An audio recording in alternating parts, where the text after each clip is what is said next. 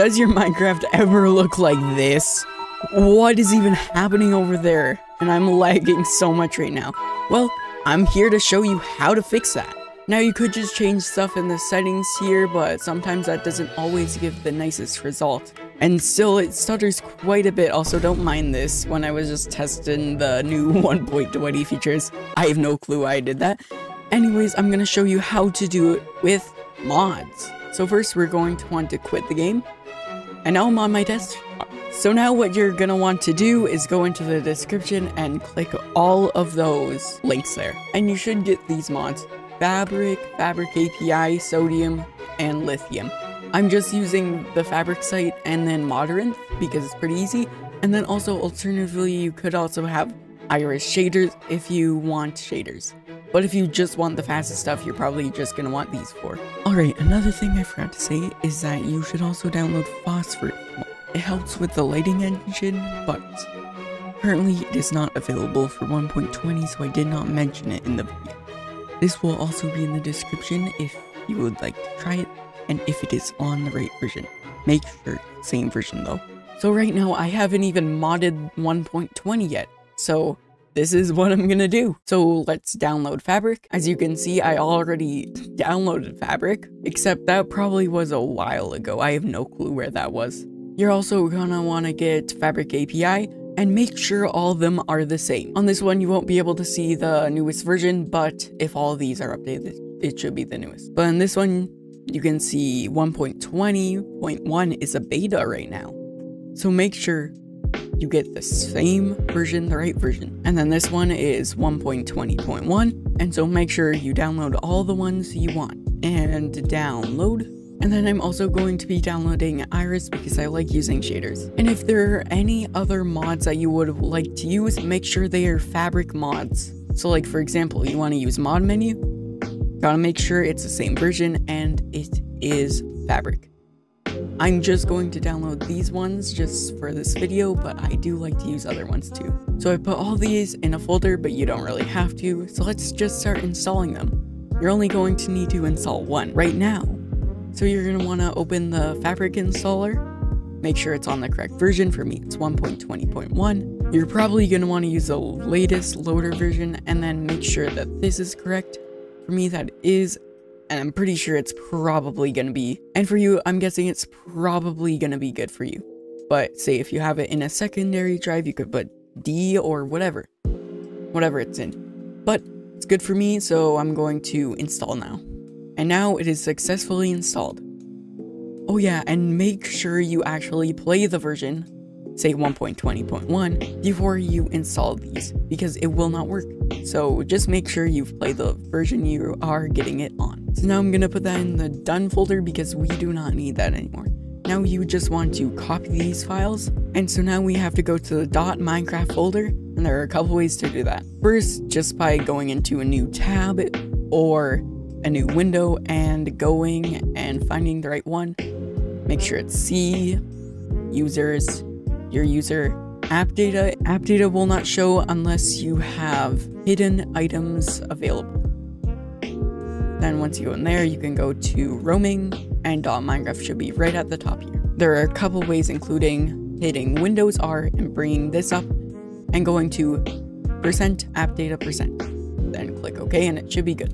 And then yeah, you'll go here and then it's right in here. You could also just do it in the start menu here. Percent app data percent. And there's the folder and now it's open. Enough about that. Make sure you have these copied like I said earlier. Then you're going to want to find your way into the mods section here. Don't worry about these folders. These are for separate mods I have in separate directories. But now if you have different mods here, so these are all mine for 1.19.4, you could either put it in a new folder and create a separate directory to 1.19.4 or whatever version you have there.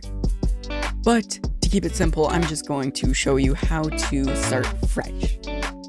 Now I pasted these in here, and if I am correct, should now be successfully installed. So let's head back into Minecraft. And so now you gotta make sure you were on the right one. So this is what my old one was, 1.19.4. Make sure you selected the one that you added. So for me, that's 1.20.1. And click play and then make sure you select this so then it doesn't keep popping this up every time you want to play. Oh, here it is. This might happen where it says not responding. Okay, you can't see it right now, but here we go. Now you can see I'm in. So now in the bottom left here, you can see that I'm on 1.20.1 fabric and modded. So that is good. Now if I go into the exact same world, if it loads up, here we go. So you can see I have my shaders on. It automatically put it on. So let me just go into here and turn these off. Oh, they added something new here. Ooh, I didn't know that. Anyway, so now it should be pretty smooth now. It should be very smooth, but if it's not, don't worry, there are settings to change. So first, you're want to head into your settings and video settings. You can change your render distance and shadow distance. I like to keep these around like 20-ish. And now there's color space, but that doesn't matter that much. There's also simulation distance, which is already in the game normally. Uh, not much in here, honestly. Make sure your frame rate's up. And you can turn VSync on, but that might not make it as smooth because it goes to what your monitor can handle. But if you want even more, like right now, I have 300 FPS, then go for that. And next, you're gonna wanna go into quality. Now this doesn't matter so, so much, but you can turn off and on settings normally. These are basically just the normal settings so far. And now performance. Performance, you wanna make sure these are all on. Well, only if you want them on. Some of these you won't notice visually, but it makes your frames way better. So, animate only visible textures, you won't be able to notice that the other ones aren't animated because you're not looking at them. So you would turn that on, same with entity culling, same with block face culling, and same with fog occlusion. Now here is the bit that you want to make sure that you have correct. So this one might create visual lag in the world. If you don't want that, then just turn it off. But I honestly don't care, but you might care quite a bit. And then this one, chunk update threads here. So you can change how many threads, but you don't want to turn that to max or all the way down. Well, I mean, you could turn it all the way down, but I recommend putting up a bit because this specifies the number of threads to use for chunk building. Now, in your CPU, you have threads, and you would most likely want to use at least a couple of them. So you're going to want to be using some of the threads, but read and make sure that it doesn't have any negative impact. This one may negatively impact frame times, which means it might stutter a bit, but this can speed up chunk loading, so if you really want no lag at all, then I'd suggest zero, but I think I like it at 2. And in advanced, you can specify a couple of different things. This one you might want to use async or swap, depending on if you have a newer or older GPU. If you have an older GPU that doesn't have driver updates anymore, then you might want to go with swap. But if you have a new one that still is updated, then go with async. But you can just use the settings I have if you want. They're pretty good, I hope. But you can read these for further inspection. And if you have Iris, you can have shader packs. Now, of course, if you want the best frames, just disable it. But I like having shaders, so I'm going to enable it. So now, there are many different shaders that you can use. So, for example, complementary. Now, complementary is a pretty heavy shader, at least the one I have.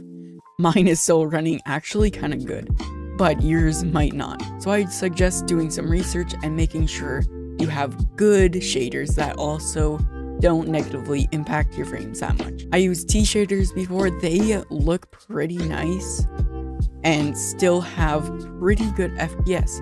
But I found an even better one that I like. Stracciatella shaders, I think. I don't know how to pronounce these honestly, but I really like how they look and they are pretty good for frames. Like I'm still getting about 200, but I definitely do not need 200 frames. Just look at this. This looks pretty good, and let's try just load some more chunks. And it seems like it's holding up pretty well, so I hope this was useful for getting you even more frames in Minecraft. So I hope you liked that video, and I just remembered I have to turn on my resource pack.